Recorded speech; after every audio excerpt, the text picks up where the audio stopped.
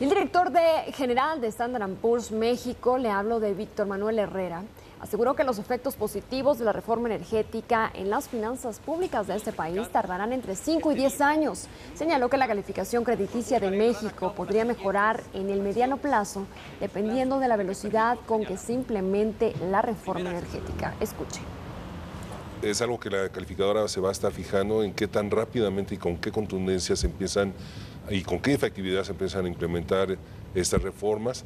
En el papel está muy bien todo ahora, es solamente que tengan suficientes dientes, suficiente presupuesto, suficiente talento eh, que, se incorpore a estos organismos para poder eh, implementar su función de una manera correcta.